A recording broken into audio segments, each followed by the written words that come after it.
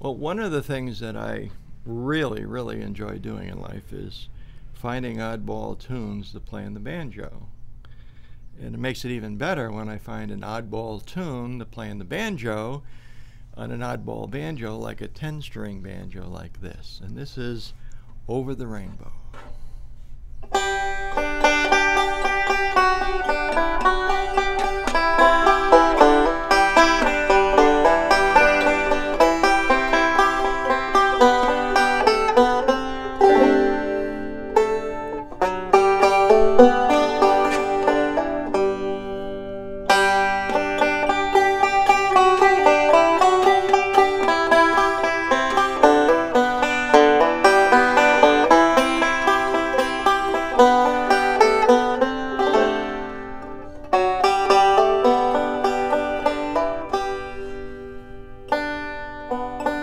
Música